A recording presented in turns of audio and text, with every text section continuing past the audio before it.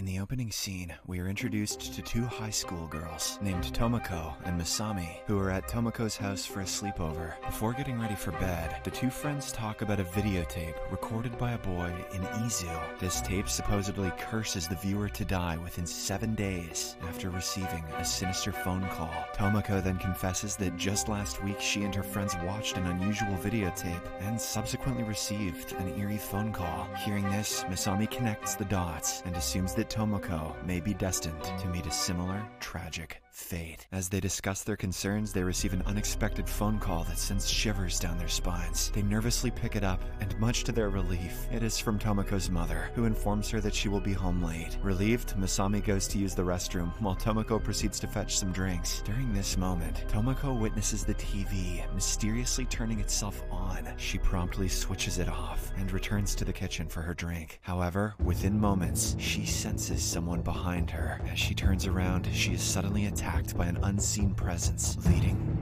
death. In the next scene, we are introduced to Tomoko's aunt, Reiko Asakawa, a journalist who is in the midst of conducting interviews with teenage girls. One of the girls recounts the same cursed video and the subsequent creepy phone call that foretells their death within a week. Curious, Reiko inquires if anyone has actually died as a result of this curse. In response, the girl reveals that a high school girl and her boyfriend were tragically found dead in their parked car. Later, at the office, Reiko checks a newspaper article detailing the deaths of a 19 year old boy and his 17 year old girlfriend in their car. In order to gain more information about the case, she asks her colleague, Okazaki, to find the name of the high school attended by the deceased couple. That evening, Reiko receives the tragic news of her niece's passing. As a result, she, along with her seven year old son Yoichi, attends the funeral. While Reiko is busy talking to the relatives, Yoichi walks upstairs to Tomoko's room and looks around. He is staring at the TV when his mom walks in and takes him away. Afterwards, Reiko goes to talk to Tomoko's classmates, from whom she learns that Tomoko and her three other friends who had watched the cursed videotape mysteriously died at the same time on the same night, with their faces twisted in sheer terror. Reiko also discovers that Masami, the girl who had been with Tomoko during her unfortunate end, suffered from severe trauma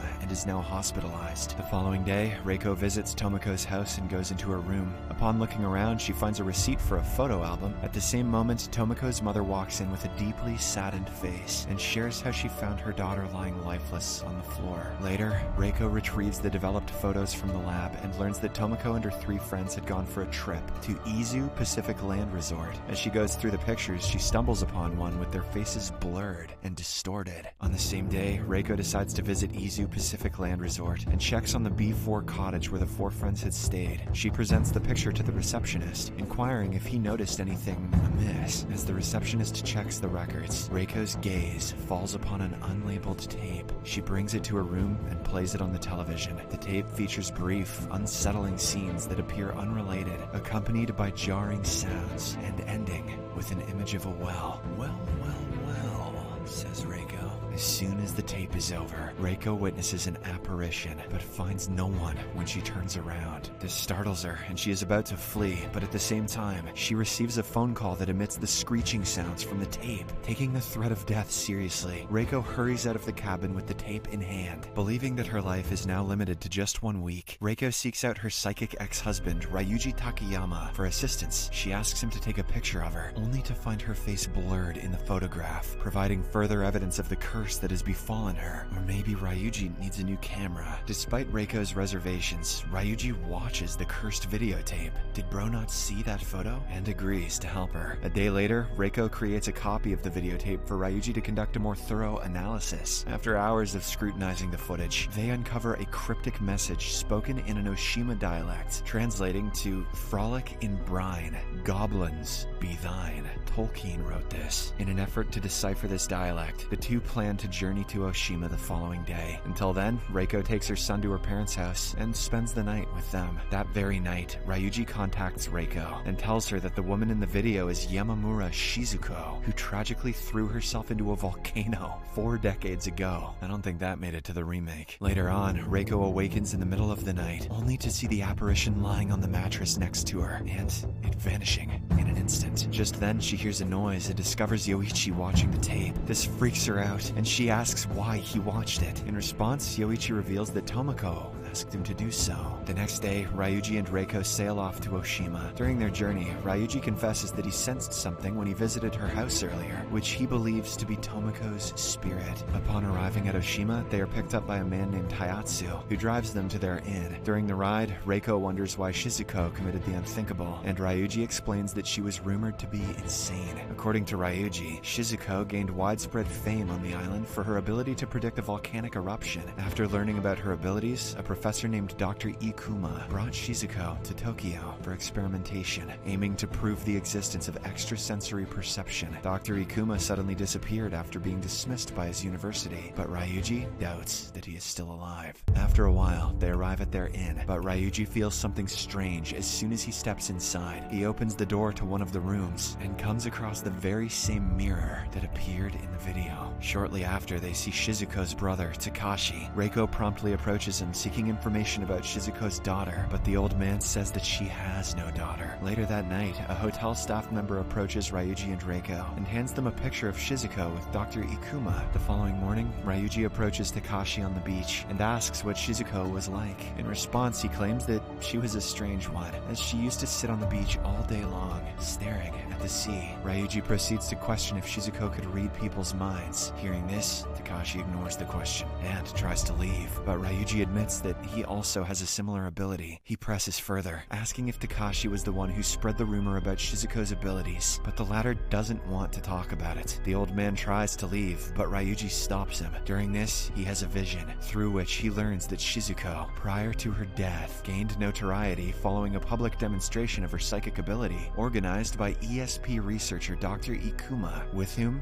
she had an affair. Extrasensory, indeed. He also learns that Takashi had attempted to make money off of Shizuko's abilities. In the midst of these revelations, Reiko joins them and also witnesses the flashback. During the demonstration, everyone believed that Shizuko didn't have any powers, and that she was deceiving them by showing some magic tricks. But then, a sudden death among the spectators shocked everyone, leading them to consider Shizuko as a monster. At the same time, Shizuko saw her daughter, Sadako, there, and asked if she had done this. Here, Ryuji understands that Sadako can kill people through the power of her thoughts alone, and she presumably did so because she was unable to tolerate the crowd bad-mouthing her mom. After learning all of this, Reiko makes a call to Okazaki and asks him to help her find Dr. Ikuma and Sadako. Not long after, Reiko receives a call back from Okazaki, who tells her that there is no trace of either of them. Ryuji believes that the video is not from this world, and it is Sadako's wrath. He claims that Sadako has put a curse on them. A few moments later, a man walks in and informs them that all the ferries have been cancelled due to an approaching typhoon, leaving them stranded on the island. This news devastates Reiko, thinking that she has only one day left to live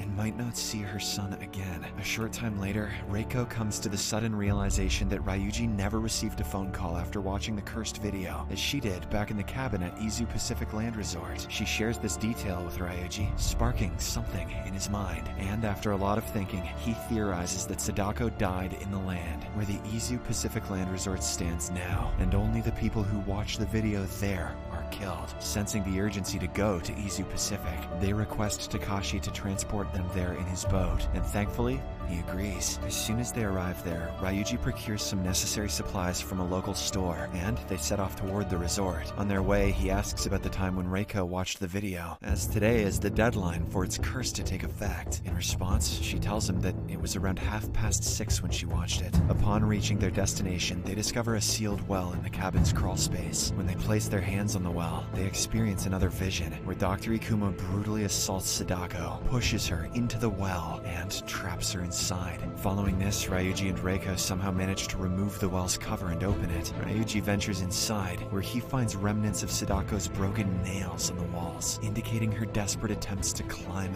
out. Determined, the duo starts the process of draining the well in hopes of locating Sadako's remains. Personally, I hope they don't locate them. As the clock nears seven, the fear of impending death overwhelms Reiko, causing her to faint. Ryuji then comes out from the well and rouses her back to consciousness. He asks her to descend into to the well and continue the draining efforts, but Reiko seems to have given up. As a result, Ryuji reminds her of Yoichi. Wait, that's right. I have a son. Finally convincing her to proceed. Upon continuing the draining process, Reiko makes a grim discovery. Sadako's hair emerges from the well, and before long, her skull surfaces in the water. A short while later, Ryuji realizes that the deadline has passed without any adverse effects on Reiko. This leads them to believe that the curse has been broken. In the aftermath of this event, the police arrive at the scene, and Ryuji drops Reiko back off at home. The following day, Ryuji is working at his place when he notices an unsettling event. His television mysteriously turns on, displaying the well featured at the end of the cursed tape. The vengeful spirit of Sadako emerges from the well, advances toward Ryuji via TV, and instills such terror in him that it claims his life. Meanwhile, Reiko, who is trying to contact Ryuji during the same period, hears his final cries over the phone. She rushes to his residence, but the body is already taken away by the authorities. She then retrieves the videotape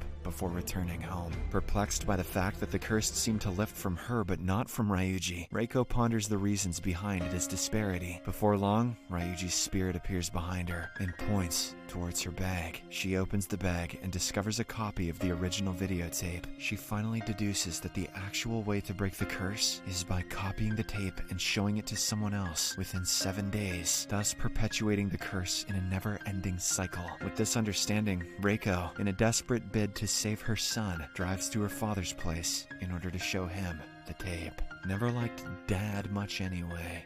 Subscribe for more videos like this, turn on notifications, and leave a like to help the channel out. Thank you for watching.